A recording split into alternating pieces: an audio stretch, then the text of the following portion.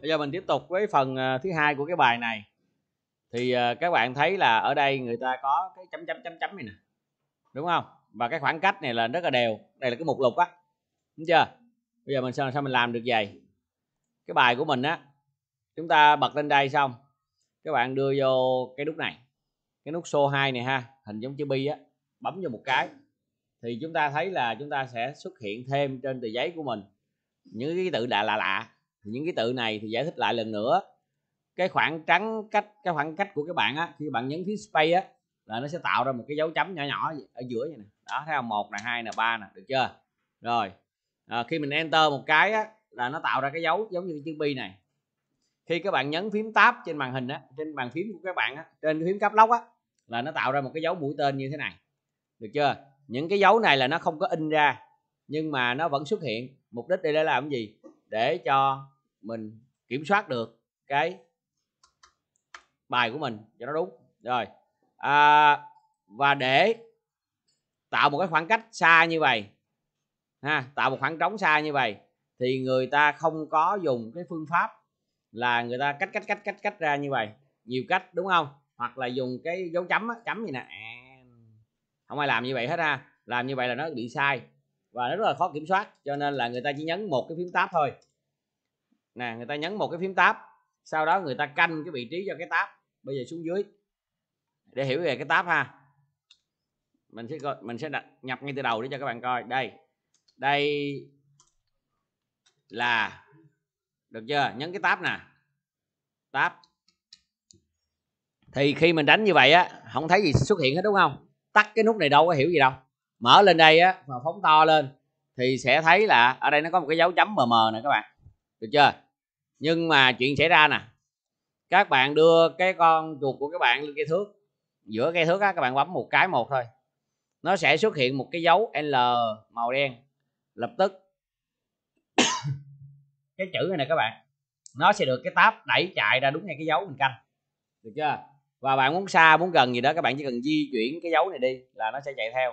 Và đây chính là công dụng của cái phím tab phím tab nó cho phép các bạn canh cái khoảng cách này tùy ý, dựa trên cái dấu canh tab trên cây thước. Được chưa? Cái dấu này các bạn tạo ra nó bằng cách các bạn đưa con chuột lên cây thước, các bạn bấm một cái là nó sẽ tạo ra. Được chưa? Rồi nhớ cài nhân lại lần nữa ha. Để tạo ra được một cái khoảng cách xa như vậy thì các bạn sẽ làm hai việc. Việc thứ nhất là mình phải nhấn cái phím tab việc thứ hai là các bạn phải canh cái dấu này lên trên cây thước. Và tương ứng với bao nhiêu cái dấu này thì sẽ phải có bao nhiêu cái dấu canh trên cây thước được chưa? Rồi, giờ quay trở lại lên cái bài của mình. Thì ở đây mình thấy chúng ta đang có một cái trường cao đẳng công nghệ thông tin ngay phiên phật này ha. Mình canh một cái dấu tab, thí dụ ngay vị trí số 13 là nó sẽ nhảy tới 13 đúng không? Tương tự như vậy cho cái khoa này ở đây người ta đánh sẵn rồi nè, đúng không? Nếu ở đây mà mất cái dấu này đi, không có dấu tab này, thì các bạn canh không có tác dụng gì hết. Được chưa? Nhưng nếu cái đây các bạn có nhấn cái dấu tab là nó sẽ nhảy. Ở đây là có sẵn rồi nè cho nên mình không có cần bấm dấu tab nữa, các bạn đưa vô ngay vị trí này, bạn bấm một cái là nó sẽ tạo ra. Như vậy chúng ta sẽ có mỗi một đoạn như vậy, khi bạn enter mình đều có một cái dấu tab ngay vị trí 13 ở đây có một cái dấu bấm cái phím tab, nó sẽ canh đều ba cái này. Và bây giờ nếu chúng ta chọn ba ô này, mình nắm cái mũi, cái dấu đen ở trên cái thước các bạn kéo. Thấy chưa? Nó sẽ chạy chung. Được ha?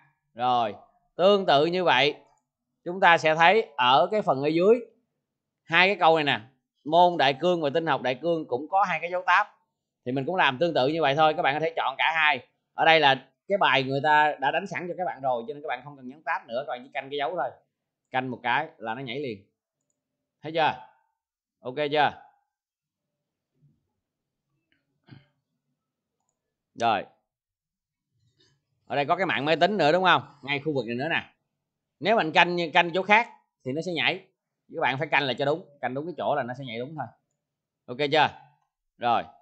Quay tiếp tục ha. Ở nhưng mà ở dưới này nè, cái phần dưới này các bạn bạn thấy là ở đây chúng ta sẽ có một đoạn, hai đoạn, hai khu vực. Và ở phía trên này, người ta cũng nhấn là một cái dấu tab xong người ta đánh. Nd1 người ta nhấn phím tab tiếp, đúng không? Và cả ba cái này đều như nhau.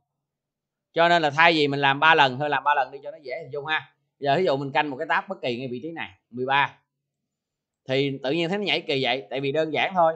Từ đầu này cho tới cuối chỉ có một cái dấu tab duy nhất, cho nên nó sẽ đi theo cái dấu tab đầu tiên là cái dấu này. Được chưa? Bây giờ các bạn muốn cái chữ này nd1 này nè các bạn, nó nằm ngay vị trí số 9 đi, thì các bạn phải canh ngay vị trí số 9 một cái dấu nữa.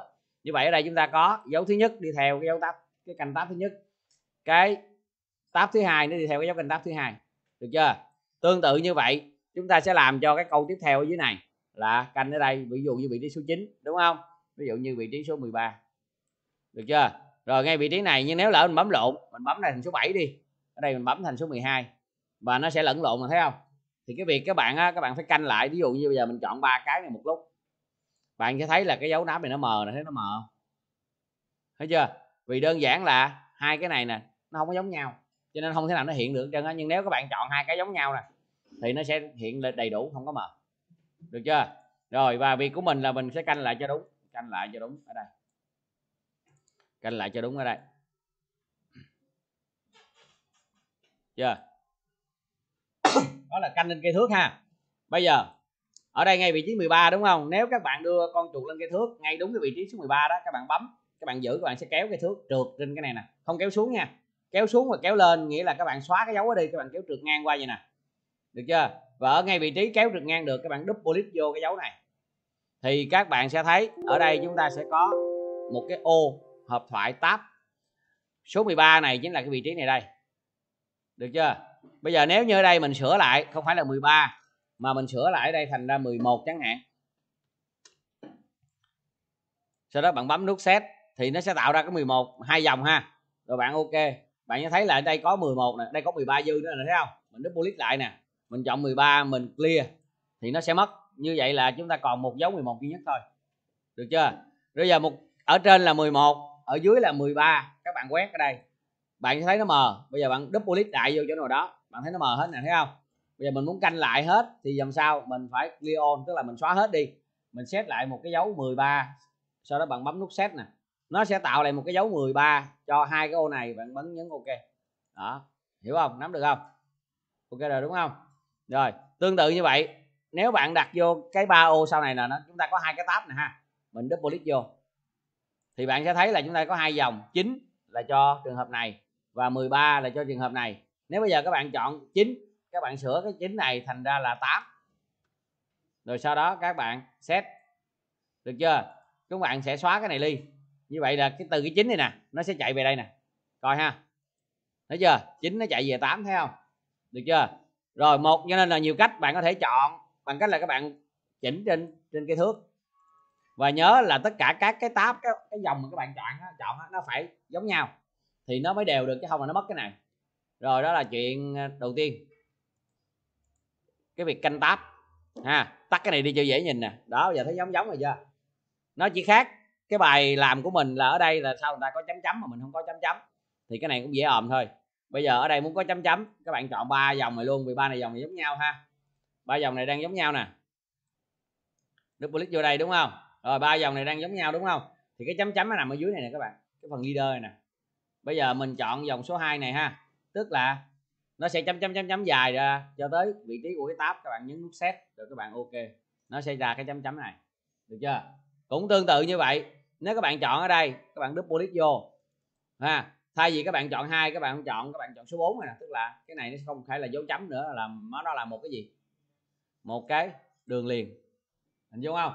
Rồi, tương tự như vậy ở đây người ta bài người ta cho là đường dấu chấm thì mình chọn dấu chấm thôi. Đó, cái hộp thoại đơn giản lắm, cực kỳ. Được chưa? Tiếp tục, ở đây. Ở đây, làm gì được không? Được không? Cô biết.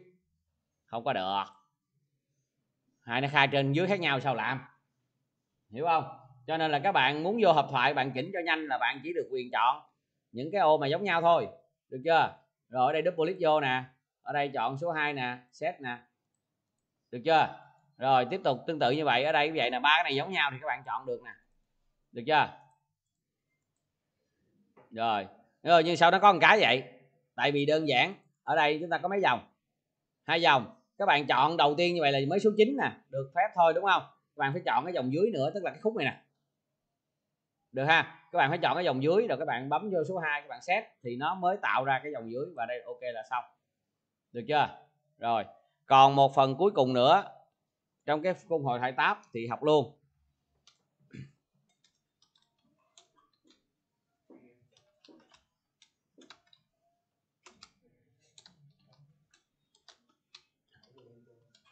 Rồi chúng ta táp á, thì chúng ta có ba cái mấy cái loại táp phải táp trái táp giữa. Là tương đương với cái này nè bạn nhìn cái ô bên tay trái của cái, cái cửa sổ đó trên cùng cái thước thấy không? Nó có một cái ô vuông vuông. Thì trong này hiện giờ nó đang là chữ L ngược nè ha. Mình để ngay vị trí này đúng không? Mình có một cái L ngược nè thấy chưa? Được chưa? Rồi nếu bạn bấm vô cái nút này đây là left tab nè bấm một cái nó sẽ thành ra là cái hình chữ T ngược. Rồi bấm một cái nữa nó thành ra chữ L ngược nè. Thấy chưa? Rồi, ở đây là L ngược là right tab đúng không? Bấm ngay vị trí số 10 thử nha. Chưa có chuyện gì xảy ra, bởi vì sao? Bởi vì ở đây mình chưa có nhấn phím tab, đúng không? Bật lên coi thử, chưa nhấn gì chân á. Nhưng bây giờ mình nhấn phím tab nè. Do ở trên này, bên, cái thước ở số 10 mình đã canh một cái vị trí rồi, đúng không? Cho nên nó sẽ nhảy tới số 10 phần để trên học rồi. Bây giờ ở phía dưới cái dòng thứ hai, ngay vị trí tab trái này mình không sử dụng right nữa mà mình dùng left. Các bạn bấm nó sẽ chuyển. Ở đây là nó thành cái chữ L nè, đúng không? Cũng đúng ngay vị trí số 10 luôn.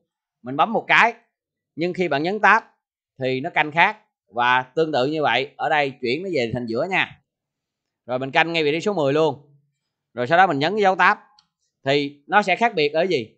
Cái vị trí canh là giống nhau. Nhưng mà nếu là tab phải thì nó sẽ viết, bắt đầu từ bên phải nó viết lùi nó ra lại. Được chưa? Còn nếu như là bên trái thì từ bên trái nó viết tới. Còn ở giữa là chia đều hai bên được chưa? Nếu như trong trường hợp ở trên cái này của mình nè các bạn thực ra là các bạn canh trái phải giữa gì đều như nhau hết vì tất cả các cái này đều giống nhau.